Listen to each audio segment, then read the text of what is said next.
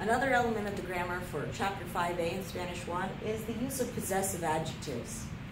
These are the words that say that this is something that I possess. So the words in English for possessive adjectives are my, your, his, her, our, and their. So let's figure out what the possessive adjectives are in Spanish. My in Spanish will be mi, like mi amigo. You may remember though that when we wanted to say that we spend time with friends, it was pasar tiempo con mis amigos. That's because my friends were plural. So when the thing that we own, the thing that comes right after this possessive adjective is plural, we're going to make it plural as well. Mi familia, mis gatos. Same thing's going to happen with the word your. Your is tu. This is without an accent. If it's tu with an accent, that means you. Without an accent, it means your.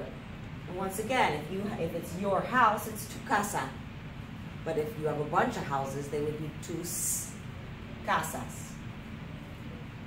This does not mean you are plural. It's the word that comes after this. It's the thing that is being possessed. It's based on the casas that it becomes plural.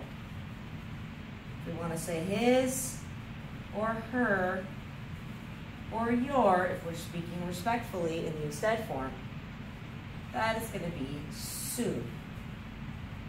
Or if his stuff is plural, it would be sus. Our, there's two options for this one. There's a masculine and a feminine option. I'll write these while the bell rings, ending zero period. So don't let that bother you.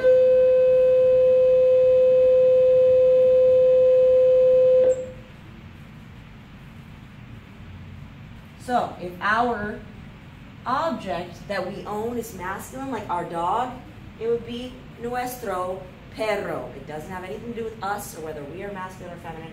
It's based on the thing that follows. It's based on the object that we possess. And of course, these can also be plural. Uh, if it's yours, and we're talking about plural people in Spain only, then it's vuestro or vuestra. Feel free to write that down or leave it blank depending on whether or not you're choosing to learn the vosotros form. And then for their or yours, if it's all of yours, you guys's, that's going to be the same as his.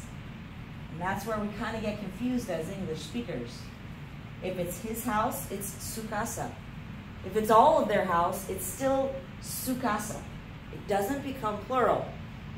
Why? It's plural based on the word that follows it. It's based on the object.